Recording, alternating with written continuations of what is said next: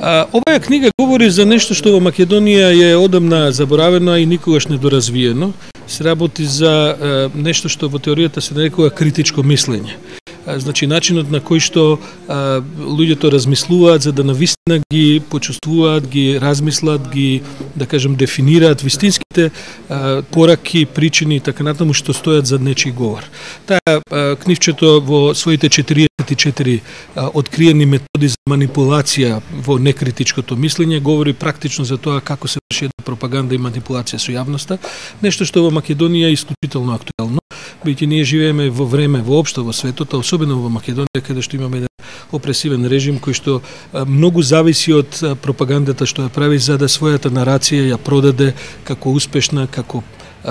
нешто што представува прогрес за општеството и така натаму, а во суштина се се користи со многу големи манипулации за тоа како ја представува таа реалност која ни се случува. И затоа мислам дека книгата во право време се појавува и за сите оние кои што сакаат да дознаат повеќе за тоа како се манипулира со јавноста, ова е изворедна прилика.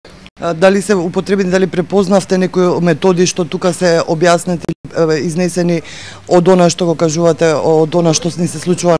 во Македонија? Кои би тие методи? Како да не, јас не можам да влезам да ви ги опишувам, тука се опишени 44 методи како тоа се прави, но тоа во теоријата за пропагандата се познати работи, што значи дека јас препознавам кај нашата власт барем 30 на овие методи за тоа како се манипулира со јавноста и како се манипулира со едно некритичко мислење за да се зачува таа јавност заспана, да не може да продре до вистинските причини, да се сокријат фактите, да се сокријат вистинските ситуации во општеството. Тоа е тоа што таа книга упатува како тоа да се промисли и да се домисли.